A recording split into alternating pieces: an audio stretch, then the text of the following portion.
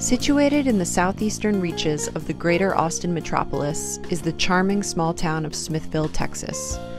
Boasting beautiful parks and historic buildings near the Colorado River, artist and resident Michael W. Hall finds the passage of freight trains through the scenic town as a particular draw. Hall became infatuated by trains growing up in Baltimore, sneaking rides on freight trains and immersing himself in literature about early hobo train culture.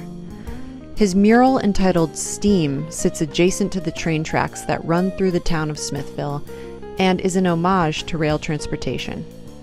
We visited with Michael at his Smithville studio for a behind the scenes look at new work he's creating for Natiivo in downtown Austin.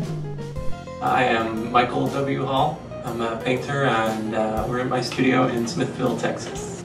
My painting style is heavily influenced from the screen printing aesthetic though. I've always been really drawn to that look of kind of layered flat colors with no blending. Over the last few years I've started working in shaped wooden panels and working on a shaped panel sort of felt freeing because I could make the work any shape that I wanted. I sort of found myself doing that with my mural work also, uh, you know, always looking for ways to kind of wrap the artwork around a corner, down onto the floor, or onto the ceiling, just any way that I could kind of break up the edges of that rectangular shape.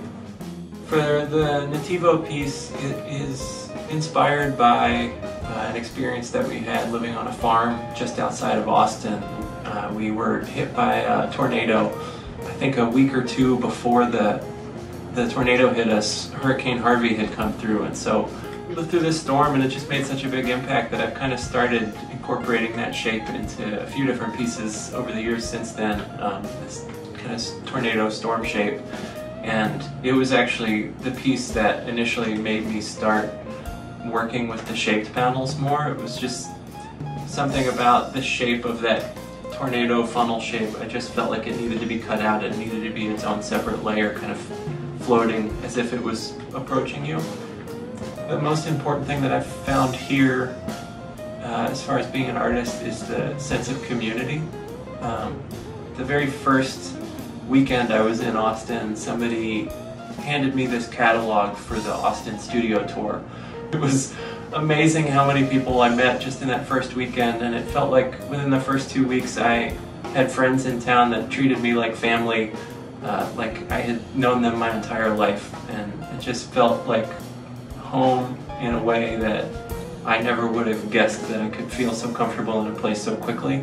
It's been such a supportive network of people down here, and I'm so grateful for the artistic community in Austin and Smithville and in Texas in general.